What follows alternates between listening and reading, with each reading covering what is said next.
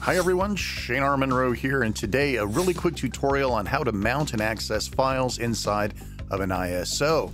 So this is a disk image file, and uh, obviously as it is, it's fairly useless, but it would be great if we could mount it and get to the files, install the program inside, or do whatever.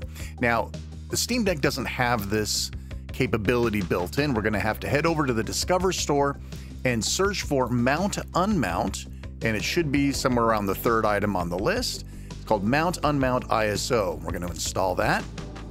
Take just a moment, of course, depending on your network speed. And now we are ready to mount this guy. So we're going to right click on the ISO.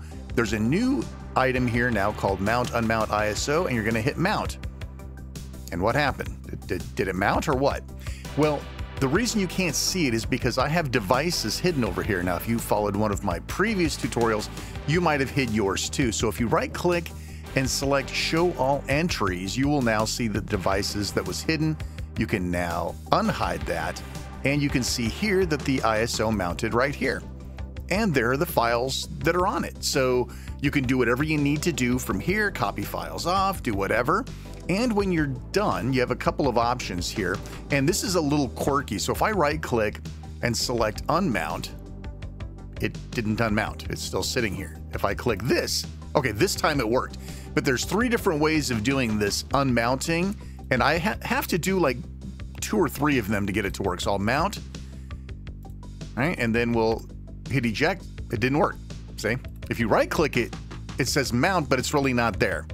It's it's extraordinarily strange. So again, now it shows that it's remounted again. This time I unmount it, it's still not there. It's still showing.